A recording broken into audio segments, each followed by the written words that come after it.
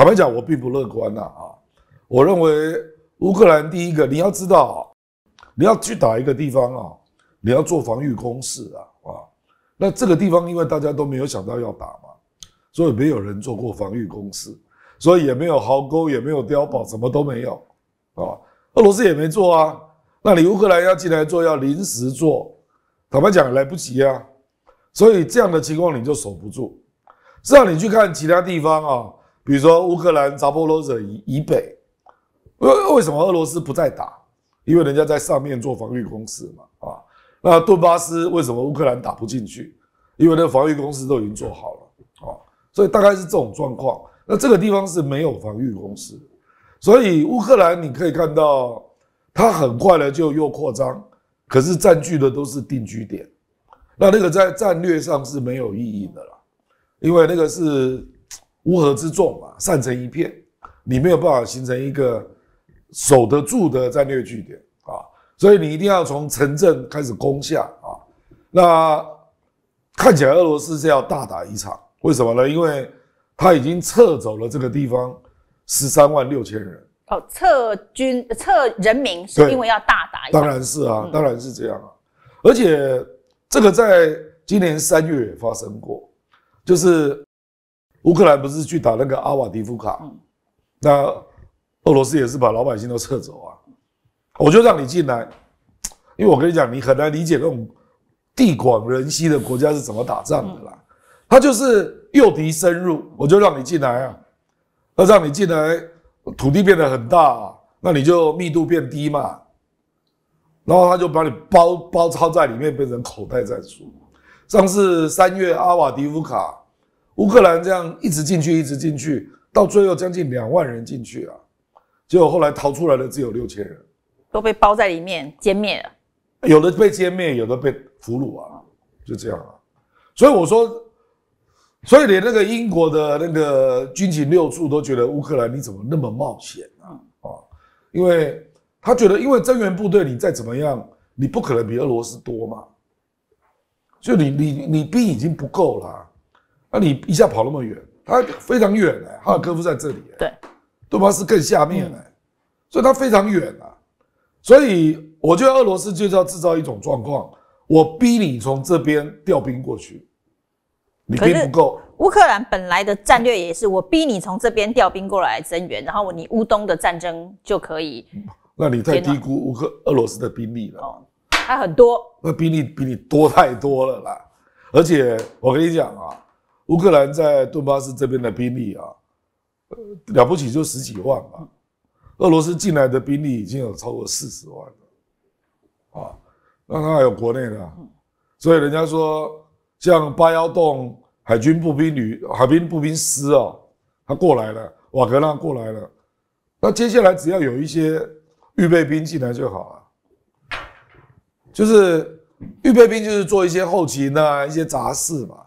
那老练的打前线嘛，就变成这样嘛，所以他要他要巩固那个不为预备兵是蛮容易，他只要给钱就好了啊。那他政府不缺钱啊，你乌克兰有钱嘛啊？而且重重点是你调不到兵，而且你如果被迫从顿巴斯这边把兵调过来，他搞不好就打出来了，就更往内部深入了。他不管啊，嗯。不，你上面的默契破坏，我这边默契破坏。对对对对对，就会变成这样，而且不排除使用小核武了，哦，那就很惨了。因为俄罗斯有人估计过，它的小核武已经可以小到什么程度？听说可以小到三千，那就是大概炸掉一个营的兵力，那就蛮可怕。就是我不管了啊，会不会核辐射你家的事啊？那就很麻烦了，因为因为这个国家那个你也知道吧，两边都是狠人呐，对，两边都是狠人，都是战斗民族。对对对。所以你认为乌克兰的这个战略要？而且我认为他 搞不好会迁怒到波兰，因为他现在点名波兰嘛。所以他这个战略想要用这个土地跟俄罗斯交易的这个战略，你觉得不可能成功？我觉得他是被逼到了，因为他觉得谈判快到了。谈判快到了。对。不管是贺锦丽或川普，嗯，如果是川普，那是百分之百嘛，而且川普已经扬言了，说我十一月五号如果当选，我就开始嗯促进谈判，我不会等到一月二十号，他都放话嗯啊。所以我觉得他没有没有筹码了，那你怎么谈判？因为俄罗斯不会撤军的啦。那你如果手上没有一个东西，你你凭什么叫人家撤军？就有这个问题嘛。所以他得必须要创造无中生有，创造把筹码找出来。哎、然后跟跟人家做交易啦。这个从逻辑上是对的啦，啊，可是你没有那个实力嘛，实际上办不到。哎、对，然后就会造成一个反效果。对，这次会不会有反效果？就是说呢，本来我就是谈判的条件是这样，我跟你讲啊，我认为这个也是贺锦丽选举的最大变数，因为可能会加速乌克兰崩溃。嗯，因为本来大家预期十一月五号之后再说嘛，你说这个会在十一月五号之前？这个战争不会打太久了，不会打太久，不会打太久。两边要都要增兵的时间还是需要一段。啊，所以所以普京这快要十天了嘛，嗯。他没有动啊，对，都没有动作，不，他就是这个大家最害怕。他。最要动员完才要打、啊。我那个阿瓦迪夫卡也是这样啊，他就让你进来嘛，然后他的兵力就这样这样这样，然后都切进来了，把你包在里面，那就在那边激战啊，大概两三个礼拜吧，跟绞肉机一样，死伤惨烈了啊！我觉得俄罗斯在历史上习惯这样打仗啊，所以他不怕持久战，因为呃老子地多啊啊！至少我跟你讲，这个地方在历史上是有名的、啊，嗯。库尔斯克州还有乌克兰的边境啊，就这一带、啊，嗯，就是纳粹跟苏联坦克大会战的地方啊。那个时候双方动员多少人，你知道吗？两百九十八万人都在这个地方，都在这个，不，这个这个地方很大很大。这这个还还包括乌克兰啊，坦克大会战是还包括这边啊，死了一百五十万人。这么惨烈，对，双方，嗯嗯，那进来的坦克六千九百八十辆坦克，这历史上有名的战役啊，哦，所以那乌克兰这不是捅了个马蜂窝吗？不是吧？这个富贵险中求哦，，富贵险中求不。然你没有筹码。我跟你讲，这个这个我们就叫做最后一搏啦。嗯我们从谈判角度就是他要出其不意，嗯嗯，那搞不好摸到啦，你怎么知道？搞不好输甲就被他打下来啦。You never know 嘛，啊，就是不幸没有打下来嘛。他本来想的就是我没招了嘛，啊，我只好去看能不能把苏甲给突袭这突袭他，然后看不能把贝尔格罗德也打下来，就是这样嘛。他的想法就是这样。啊，你也不能说他不对啊。啊，可是你没有这个实力嘛，那就发现到这里就卡住了嘛，就进退不得嘛。那这个故事听起来蛮悲壮的。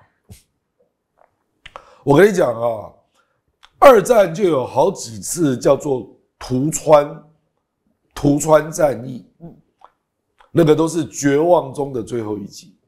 事实上，纳粹也搞过啊，这在柏林保卫战之前也有这个啊，就是好几次就是屠川的战役啊。那有呃成功的吗？没有，没有成功的啊，因为基本上就是人家包围你嘛，那你要突出去嘛啊，呃，这个那时候难度已经很高了啦，哎，那只有看过图退战，你说撤退都个人各各大撤退退啊，成功的撤退勉强还有可呃，能。那个还牵涉到那个纳粹的情报错误啊，等等等啊。那个涂川成功的真的几率不不高啦，这个呃历史上成功的例子不多啦，真的是这样。所以奇迹是很少发生的，对，可是你面对优势兵力，你怎么办呢？只能期待有真的有奇迹出现。对啊，就是这样啊。这是普丁的雷霆之怒啊！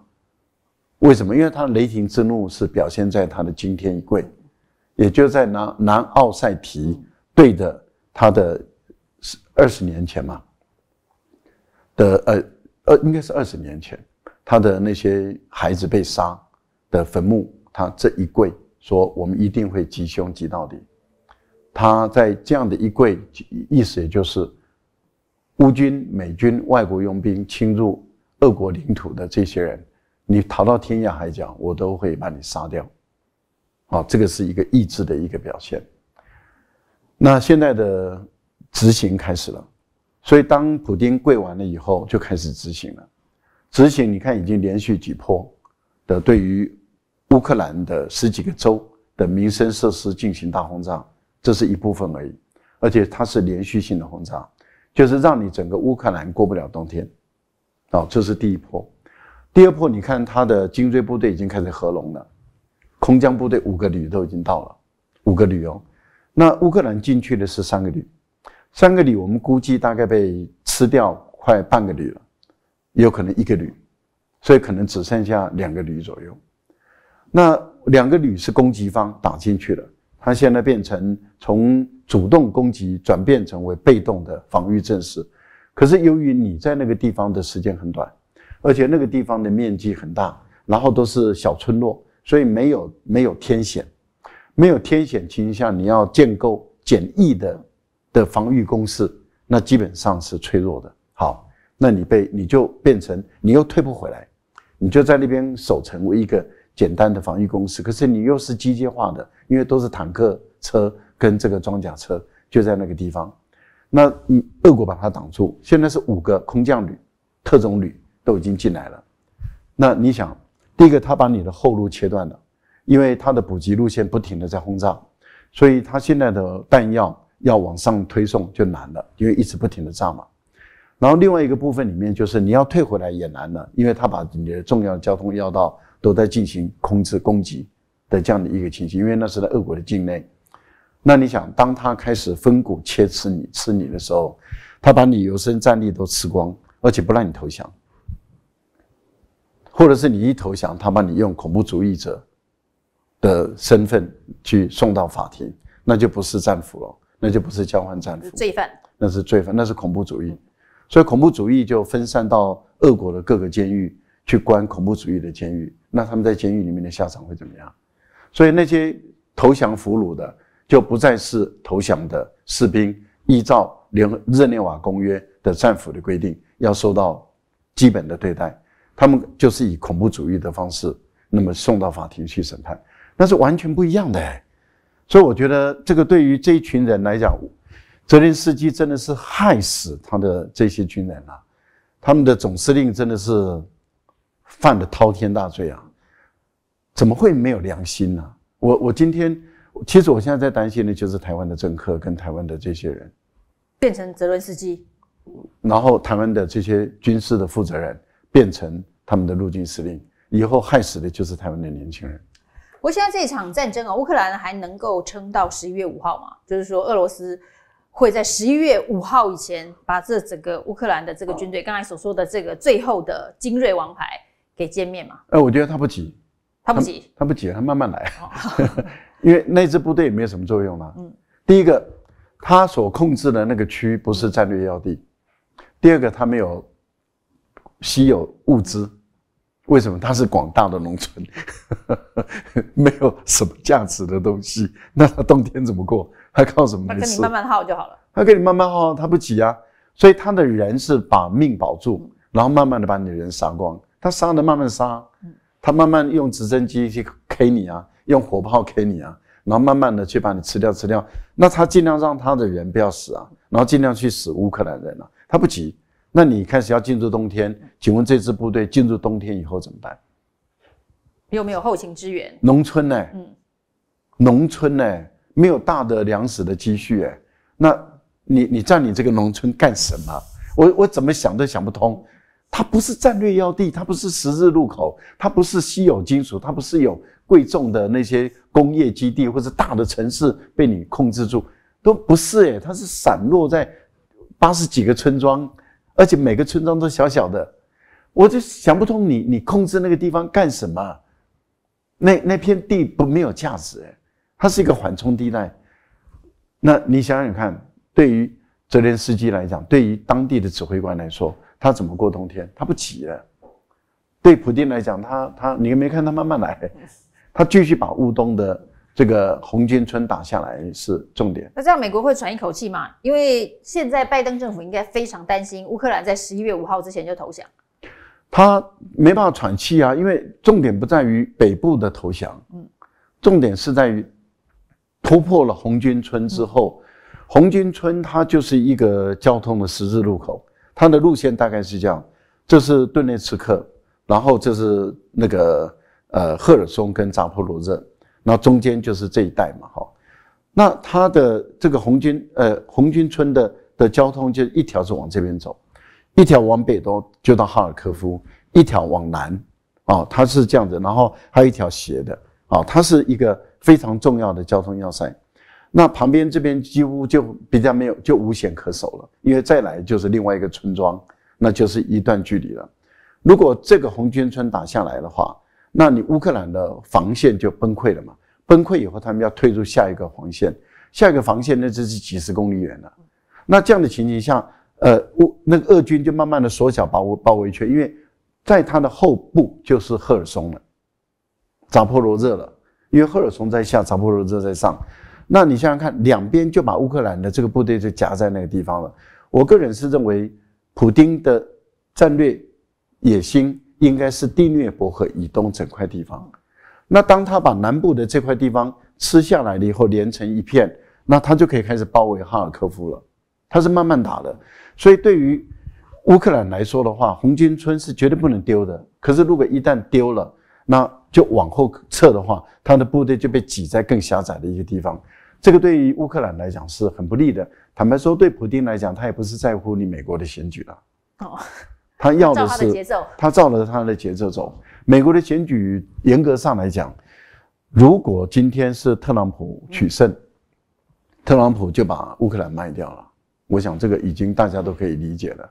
那如果是贺锦丽的话，坦白说，那美国也有心无力了，就是他还是想支援。可是波兰已经告诉你说我没武器了，好，波兰已经投降了，啊，打退堂鼓了。那美国，呃，德国其实也打退堂鼓了。德国说到明年再说吧。好，那你看两大国已经打退堂鼓，法国是一张嘴嘛，法国到现在没有给东西嘛，他每天嘴巴讲的漂亮啊，这个天花乱坠啊，我要给你这个飙风战机，但是一架也没去，连两千零五型都没到啊。两千零五，他已经不量产了。台湾还弄，还在玩的这二十年的战机，他一架都没到，火炮也没到。然后英国也是一张嘴了，我们一定会再给你，但是我们也没看到现在工党政府有再送过去啊。好，那欧洲的四大国都是嘴炮，然后意大利是不关我的事，我还是要去吃我的披萨，喝我的红酒。那意大利也也也也呃，但是不要碰到我。意大利态度，那请问？乌克兰现在靠谁？靠波罗的海那三国，立陶宛，啊，立陶宛就台湾再给我十二亿美元，你不给我，我就不给你好了，我就把你的招牌拆掉，啊，我就挂上另外一个招牌，你搞不好就是这样完了，对不对？那到时候倒霉的又是我们台湾了。好，那问题就就就在于欧洲的那些小国没有作用，大国现在都力不从心。那最后，如果贺锦丽也力不从心的话，你乌克兰的下场怎么样？就是没办法撑下去了，没办法了。不过他九月份的时候说他去美国，嗯，然后呢要告诉拜登他要如何胜利，要给拜登一份胜利计划书。他的目的就是要拜登解除武力的，让我的飞弹可以打远一点。对，就是你给我的武器，我可以随便用。嗯，啊，那我也可以打。俄罗斯的炼油厂，因为他的胜利计划就是打他的炼油厂了。其实说穿了，就是把俄罗斯的天然气管炼油厂就炸掉，就这个意思啊。呃，乌克兰并不是说一定做不到，他一定有能力造成俄国的一些损失。但是拉夫罗夫的态度也很简单嘛，如果你美国一旦这样做的话，那这个已经不再是俄乌的战争了，这就是俄国跟美国的战争，那就是第三次世界大战。而我俄国的武器使用原则已经改变了。我只要感觉到威胁，我就第一时间使用核武。那你信还是不信？那英国人是说不信，那他当然不信啊，因为天大有人顶啊，那就是美国顶啊。那美国人说：“我再想想。”啊，所以现在乌克，我觉得泽连斯基去，大家只是哎，这个小丑来了，应付一下，现在很烦嘞。现在看到你就很烦嘞。那拜登已经无决策权了嘛？那贺锦丽也是虚应故事嘛？他我现在还是候选人啊。你等我选完再说好了。对啊，然后特特朗普也会说，我现在没当总统啊。那你觉得他去美国干什么？那拜登一定搁在那里再研究一下，再想一下。所以我觉得他是作秀了，因为他现在很担心。还是去寻求什么政治庇护之类的？呃，政治庇护也没用，因为他俄国，我我我我大概已经可以预见了，可能他跟他太太或是小孩，或者是在什么地方哪一天去看电影的时候啊，或者是他想上百老汇去演演。那个去客串演出，或者是坐在那边看的时候，突然间就再也不起来了。他也被视为恐怖分子了吗？他已经被视为，普丁绝对会追杀他到底了。他现在只要寻求如何寻求身家保障最重要，安全活着最重要。对，很难的。这就要讲泽伦斯基这个人，嗯，因为他是一个丑角出身的演艺人员。喜剧演员，喜剧，你这个丑角 夸大了一点哈。喜剧演员，他演的是总统，好不好？他在那个喜剧里头也是演总统丑角啊。啊，不，我的意思就是说，他跟正规出身的军人，跟正规出身的政客是不一样的，所以他的思维是非常跳痛的，就好像川普一样，你知道，不按牌牌理出牌。如果他是一个正规军事。出身的军事领袖的话，他不会做这种事。他如果是一个正规政治人物出身的，他也不一定会做这种事。在这个时刻，忽然间这么跳痛的跑去打了俄罗斯，就是因为他是泽伦斯基，他哪里有什么框架可言？什么事情干不出来？剧本就要写一个出乎人意料之外的 surprise，才有那因为他也 好，那他的思维是什么呢？就是一个市井无赖的思维。哎，你不要想，他就是因为他这个市井无赖，我还挺佩服他的。好，虽然他根本上就是毁了乌克兰，他今天这个仗已经打不下去了。然后呢，然后拜登垮了，对不对？在他那时候决定俄罗斯的背景了，哈，很可能哦，全世界都说川普要当选，那川普要当选，一当选啊，一定。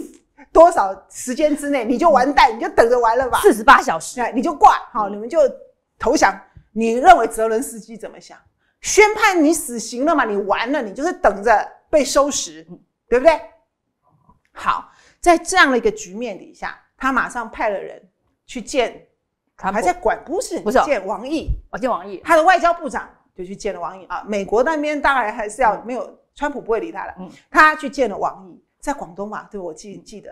有他外交部长不在对不在北京，在深圳还是广东？对，在广东谈了好几天呢，谈了那么久，然后在他谈的同时，你就看泽伦斯基那个德性，他，我说我说他是市井无赖，你懂吗？他不是一个大国，他不是大国，但他他人家国比我们大多了，他不是那种大国的传统外交的那种做派啊，他就是我就是市井无赖。对不对？我就是死缠烂打，我就是现在看到苗头不对的时候，我就转过来，赶快来报中国。但是他不是听中国大陆哦，他不是来求饶，他是来死死胡搅蛮缠的啦。您懂我的意思吗？因为他知道，就是说中国大陆这时候可以起一定关键的作用，但是他并没有要听中国大陆的。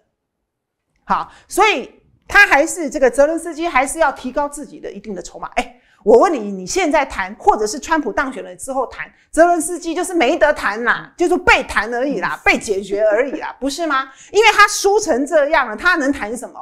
就是俄罗斯要求的不过分，就照就照这样做了，就签了，给我压了，对，就天下太平了，不就是这样子吗？那泽伦斯基就是一个乐色了嘛。但我觉得泽伦斯基就在做最后的挣扎，他就不，他就不偏不，我要帮我自己凭空。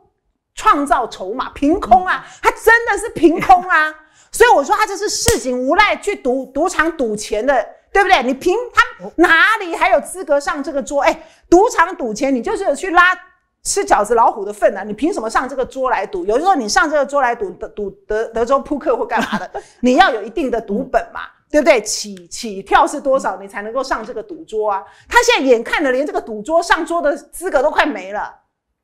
所以他先找人讲，然后还说：“哎呀，你们来乌克兰跟我访问呢，他还他还摆谱呢，就意思就是说，这个外交部长讲的还不算好，你还我还 一个这种国家，他还摆出，你懂吗？先外交部长，他最后我乌克兰我泽连斯基决定，然后我们再来谈，他拉高这个东西，然后同时呢，没多久他就去打了俄罗斯的本土，你看，他就是制造一个不存在的筹码嘛。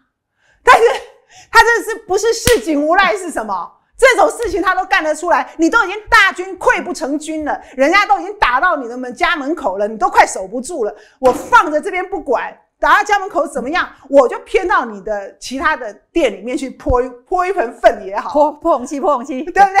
我就去弄也好啊。你看他就是可以这样耍无赖搞，我就硬搞胡搞瞎搞，他去搞了以后，哎。他也知道我这这哪算什么大规模反攻啊？我这哪算什么什么杀到俄罗斯他家了？他真的还能够怎么样吗？他不能怎么样。问题是哇，他一打，你看看全世界西方媒体都赞扬啊，打到俄罗斯了，骑兵啊，打得好啊，打到普京瞎瞎眼呐，傻眼呐，怎样怎样？哇，盛赞一番。你看他多厉害！你不要小看泽伦斯基，他就是因为这种出身，他就是因为这种。喜剧演员丑角出身，我告诉你，他就是照丑角出身。我怎么样用口袋里面我空空的，我还可以制造一个骚动，然后我懂得，反正下面全部都是我职业观众，我只要有动静，他们一定给我鼓掌了。哎呀，敲锣打鼓哈，锣鼓喧天呐！他就他就吃定了这个，然后搞得好像他又有什么一样，搞得普丁好像脸这个满脸豆花挂不住，对不对？所以呀，你看他就是这个耍无赖的打法嘛，在真正的军事意义上面是没有的零，这叫做垂死挣扎、乱挣扎。但在政政治意义上、公关意义上面、拖时间的意义上面、增加自己上桌筹码的意义上面，有多这么几分呐？可他最近吵着要解除远程飞弹限制，就是希望我有一颗飞弹能够直接打到莫斯科，对不对？我这个戏就演演更大了，更轰动了。我就说他很会演呐！你们看泽伦斯基真的很会演。那你说底下那些他比较像陈水扁，那么多鼓掌的观众，会不会有人投昏了？说好，我我的飞弹你打你拿去用吧？会不会？不敢，没有人会昏到这程度。不敢，不敢。但会不会偷偷的给？不知道。但不敢，绝对不敢明目张胆给。普丁那个核弹是会按下去的。对，不敢啊！那谁要当这个？而且你现在欧洲都非常的动荡，嗯，好，然后国内的问题非常的多，所以谁要去当这个出头的的人？谁？那所以，我我我谁？英国吗？法国吗？美国吗？不可能！美国现在每个每次每次乌克兰有什么动静，都是否认否认，跟我无关，不是我指使的，不是我，不是我，不是我，都是这样子搞的。所以我觉得自顾不暇了。然后你看德国，因为这个北溪，嗯，还是就是你泽伦斯基叫人来炸的。对呀，那德国更不可能了。所以啊，反正他就是很会，你知道，我就跟你讲，他就是市井无赖嘛，吵得你大户人家不得安宁。他没差，我不要脸怎么样，对不对？我什么手段都可以使得出来，我就让你不得安宁，我就不。我 我没有成本的嘛，对不对？我每天都在讲说你你你你来欺负我，你打我，你打我，你咬我，你咬我，我就就怕你不咬我。告诉你，那隔壁王家，你不要以为你平家多么大，隔壁王家比你更大，还有那个黄家，还有那个李家，都会来找你算账。他们明天碰瓷，好不好？对，好好。所以我觉得这个泽伦斯基这是最后的闹剧，是个他就这样搞啊，对。但最终，那不然你要他怎么撑这个这一段？大家都说是乐色时间，大家都在等美国总统选举。哎，这还好几个月啊！他可能撑到贺锦丽，他撑到贺锦丽当选的话，对啊，他有转机吗？撑到贺锦丽当选，就是会好一点嘛。贺林最近不错哦，不错啊，不错，对不对？领先七个百分点，不错啊。嗯，如果撑到了贺锦丽当选，泽伦斯基就得救了吗？就好一些嘛。对不对？我觉得就是这样子，就可以继续。反正他现在是烂命一条，他有差吗？对不对？跟你配了。对呀，他他就是他，当然会好很多啊。他当然会好很多。那川普会怎么会怎么搞他？凌迟他，吓都吓死了。所以当然会好很多。所以我觉得这个泽伦斯基啊，真的是有够有戏的人。他也没有那么乖，他也没有在听中国大陆的，他就是糊弄全所有的人，包括欧洲，包括美国，不是吗？他就玩你，他就敢玩你。就怎么样，也是厉害了。那美国最近民主党的声势这么好，你觉得贺锦丽的赢面是不是现在比川普高很多？我觉得好好，当然比那时候呃拜登换下来的时候好。那最主要的原因就是因为第一个，美国担心川普当选的力量团结起来，因为真的很担心啊。那因为贺锦丽的出来就可以。要反正就有一个人可以团结这个力量就可以了。那这这股力量团结，第一个，第二个，因为她是美，她是女人，然后又因为她是黑人，那这刚好呢，就是挑动了川普的的一一个最弱的神经。他遇到女人，他就他遇到这些，然后所以川普就开始口不择言。那我觉得更重要的是，川普选的副手这两个人都是非常极度的这个白人，然后杀猪啊、那种男性杀艳文主义女、。丑女，对，所以他们的主张的很多的政策，我看了。我如果在美国，嗯我是女人的话，我不管你今天贺锦丽是谁，我都投了，因为我看到川普，我真的太害怕他会当选，你懂我的意思吗？所以我认为不止种族跟性别，还有之前的年轻选票，年轻选票本来是支持民主党的，但是因为拜登没有处理好巴勒斯坦的事情，所以我可能不投了。但现在贺锦丽出来，我可能又会去投了。所以年轻选票、妇女选票，还有少数族裔的这个黑人的选票部分呢、其实是部分呢、因为奥巴马都川普喊成这样子了，对，黑人应该要回来了吧？就是部分会回来了。那我觉得就这些回来之后，他就会稳，因为本来是民主党就不弱啊，民主党本来就不弱，他就稳住了民主党的票源跟阵脚了嘛。所以我才会说最后是五五坡，那就看你就要一个，因为他们这个民调不能转换成选举的输赢啦，你要看各州的。对，你要你要去算，你要到时候去算。所以其实我当时就觉得，你把拜登换掉了以后，就会五五坡，因为虽然他被杀、被刺杀，可是因为离选举真的太远了，对，而且他们两个人，反正接下来就我刚刚说的那些原因啦，所以我觉得是五五坡，然后贺锦丽是有胜选的的的机会的。我不晓得美美国人对这两个怎么会那么高的期待哈？对啊。啊，，只有这两个能选呐、我觉得这两个一样差啊，有什么好期待啦、那就宝贝吗？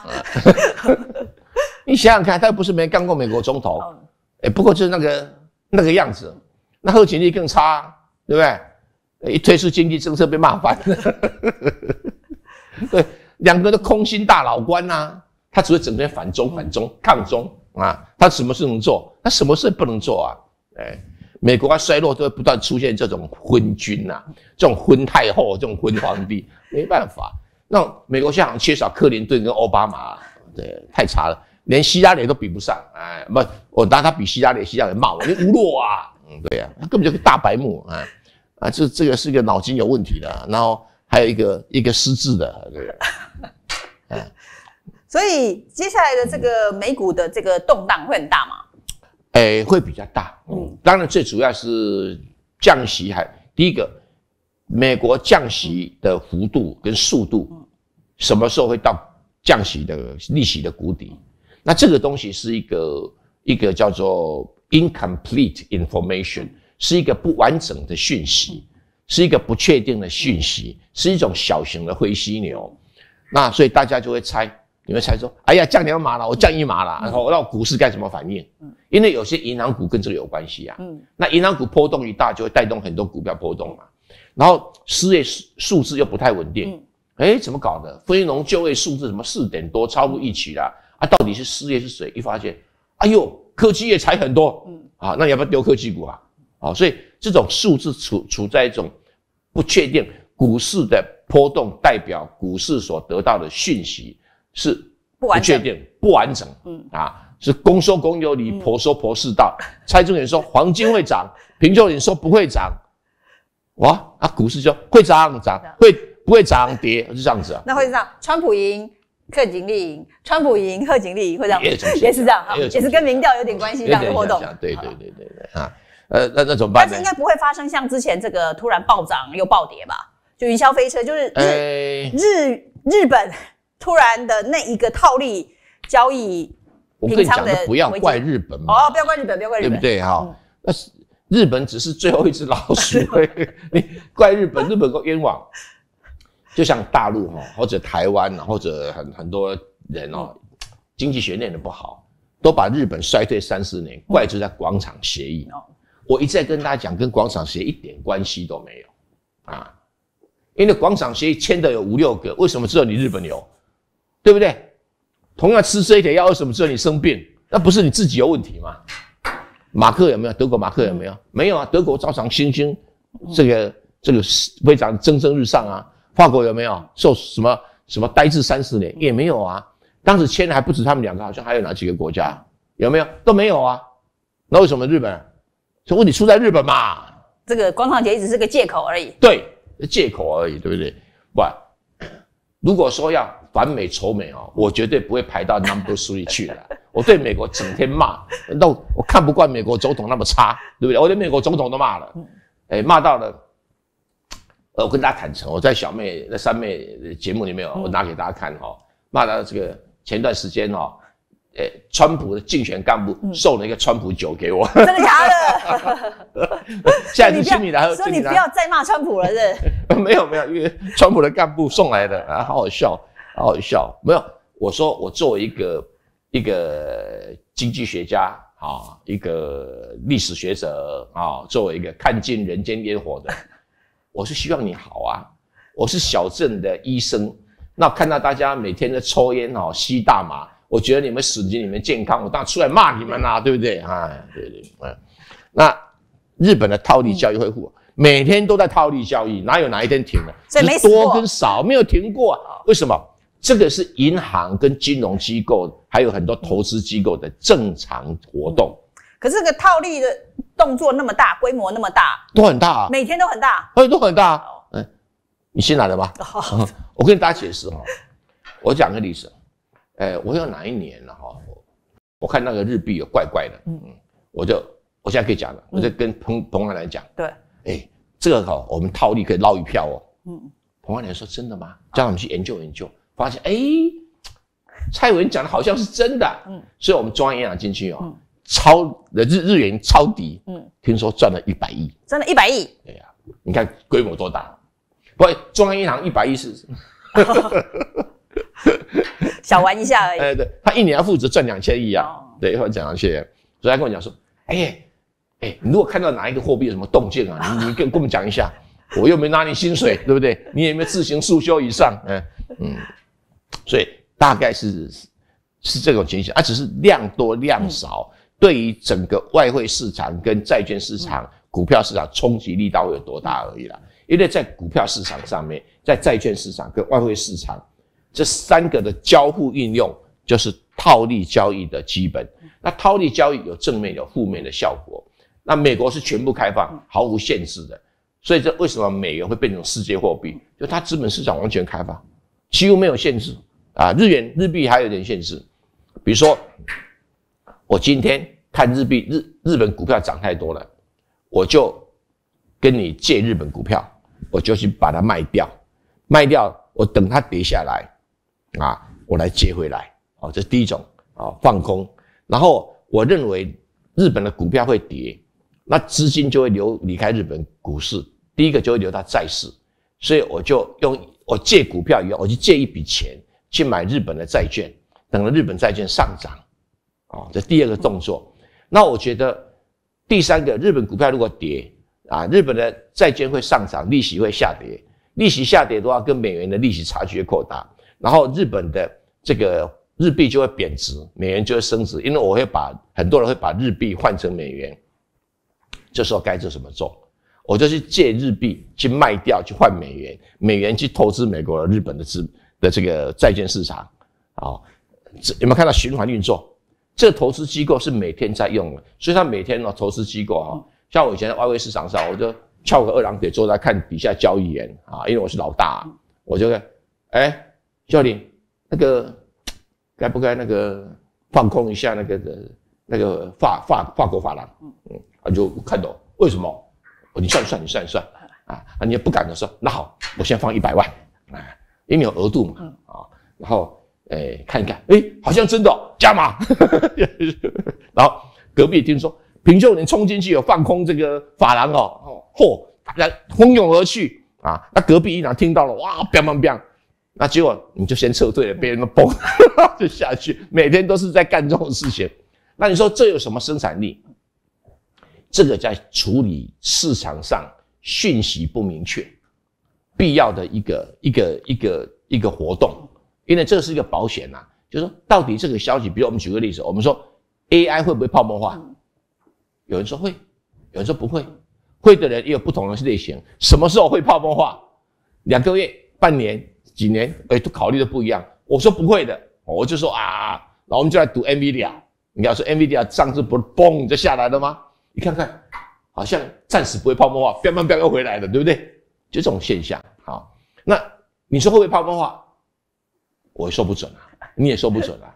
可是我们做经济分析也是在判断说，到底有多少人认为会它泡沫化，对不对，而不是会真的会泡沫化。是大家认为它会不会？哎，啊啊，认为的人是不是手上有筹码？嗯你如果光认为，可是你手上没筹码，你就白讲了。哦，在旁边画休吃瓜了是没用的。那你没有用的嘛，哈、所以，所以这个日本的套利交易就一直在，只是这个目前的冲击力不大。冲击不大，当然，欧洲人大家都怕川普当选哎啊。欧洲人很怕川普当选，这是事实。他们现在觉得说，宁可用一个好无无用的、一点用处都没有的贺锦丽啊，也不要川普。所以川普呢，现在不是你喜欢谁，嗯是你怕谁，不让他当选，其他人都可以啊。不然去年贺锦丽啊，行情很差哎、嗯大家怕说拜登突然间挂了，贺锦丽接班当总统哦，这是美国的危机啊。对啊，现在贺锦丽不是美国的危机耶，美国的是美国救星的救星啊！哎呦，真好笑，真好笑啊！对现在是全地球村抢救贺锦丽啊。因为没有人知道贺锦丽会做什么啊，啊还在哎，你要申请什么工作啊？还这种阶段呢、不过这是美国民主政治以及美国国家走下坡的一个很严重的讯号哦。你知道中国古代哈、如果要走入王朝的末年的时候，都会出现一些奇奇怪怪的皇帝啊啊，这个对朝政一窍不通的，然后对只喜欢做自己的事啦，哦，那整个朝政就噼啪的往下走。美国也许有其他的体制可以稍微避免，但是也无法避免他美国总统，因为他美国总统权力最大。当美国总统是一个白目白丁的话，这个国家就往下走啊。就像美国很能干的这个奥巴马跟这个克林顿啊，布希其实都蛮能干的。接下来就每况愈下了。有一个说新冠疫情啊要喝清洁水的川普啊，那接下来就是有一个整天不晓得干嘛的，呃傻不愣登的，老是老是脑筋不知道装什么东西的拜登，现在来一个脑筋都都是炒稻草的一个贺锦丽，所以美国的国力是已经进入开始衰退了。嗯，领导人会出现这种现象，是一个国家衰退。苏联也是这样子啊，苏联连续好几个老态龙钟。啊，所以有人开玩笑，苏联整天在出殡，有没有？连续好几个领导人上位没多久就 就出殡，上位没多久就出国殡。丧一天到晚都在办哎所，以有人就挖苦说，苏联共产党现在改成葬仪社，比较实际 哈。然后到最后弄上来一个少不经事的戈巴契夫，整天说大话，什么事都不做，做不了。比如他上来第一个是做什么工作呢？你听了也好笑，你不要忘这个人。当时大家或台湾都在歌颂他，可是他有一个动作，我看苏联惨了，就没有人相信我啊。你知道做什么事吗？他上来敬酒。敬酒不准喝不准喝酒，啊，他觉得俄罗斯人哦，为什么生产力低下？嗯就是喝了太多这个呃伏特加 vodka 啊，所以他敬酒，社会大乱。我知道这种咖一出来的话，哈，苏联就没救了。后来就讲大话，开放啊，什么讲大就讲大话。可是我很不幸哦，我这个人判断事情会都会抓住一个要点，都会不幸严重。哎呀，这个呢，哎，只是后来苏联就戈巴瓦解了。越搞越离谱啊！哦，越搞越离谱啊！整天正事不做，一下子主席团不好，当时俄罗斯的呃苏苏联主席把它改成总统制，啊改来改去哈啊，这边那脑筋都有问题啊。不过西方都捧了他了啊，捧了他，哎，希望捧一个一个小混球哈，对他好嘛啊。呃啊，现在美国如果他当选美国总统，美国会很惨。会很惨吗？可是民调显示，贺锦丽在经济方面比川普受信任。好笑是说，他们更不晓得贺锦丽在经济方面是 有什么主张。他们只知道川普很可怕。哎，对对对对对，这是美国的悲哀。诶，民主政治是能够选贤举能。那我们看到美国的历代的总统，再差都还可以，但是没有想到连续三个都很差啊。这个川普很差，拜登很差，贺锦丽也很差。哎哎，你是预言贺锦丽会我不是选？不是没有，我不是预言，就是是候选人都这么差了，对不对？不管谁当选都一样。都一样，都很差，对，都很差。对，你看哦、这个最近对贺锦丽的好消息真的很多。那刚刚讲说经济，他比川普呃得到信任，航运业者也警告说，川普当选会对贸易带来危险。那还有这个媒体写说，川普当选是中国的噩梦，因为贸易战的第二轮就要开打了。大家都在帮呃贺锦丽吗？呃，你说后几年就不开打吗？我不知道。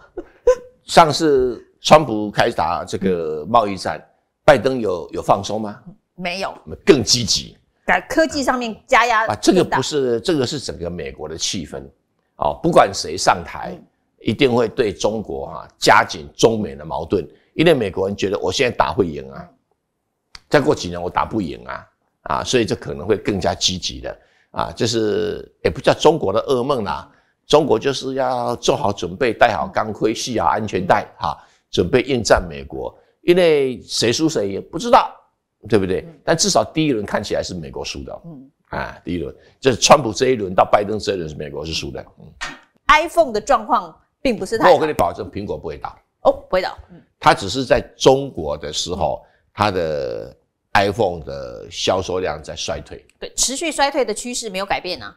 哎，除非它出这么久了，除非它出现很亮丽的新机种。嗯那 iPhone 有没有能力设计出来？有，有。可是问题，它现在的问题是，它每设计一样都觉得被嫌。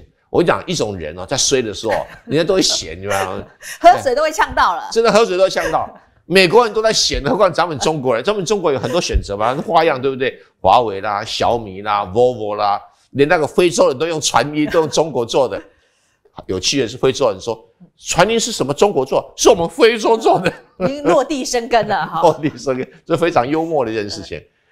那你这个东西，我问你，你你你苹果的所有的能够做的功能，人家都会做啊。那你有没有不一样的功能？你总不能说我外圈是钛合金的，我买你钛合金干什么？买了都包起来，谁看到我钛合金，对不对？显然他们的设计理念走错方向。嗯我们台湾也有一家 HTC，嗯以前很红，嗯，那为什么后来失败？因为走错方向，跟领导人为什么领导呢很重要？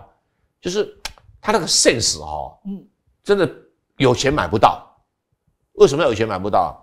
当时这个 HTC 的 CEO 哈，他说：“哇，我这款手机哈要做到音响极致，哦，跟那个全世界最有名的音响厂商合作，哎，我要把这音响做到好的不得了。”就他忘了两件事情，手机都在很嘈杂的环境使用，你再好的音响，大家都分辨不出来。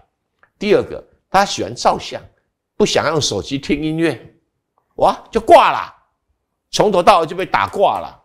一开始的时候，iPhone 的摄影功能就比它强太多了，更不用讲什么华为啊、Volvo 啦，对不对？什么 OPPO 啦，就这样被打挂了啊。那当然，第二个原因呢、也也是有点扯啊，就是说大家在走上这个手机跟电脑联联联联合什么协作的时候，他没有啊，就很怪。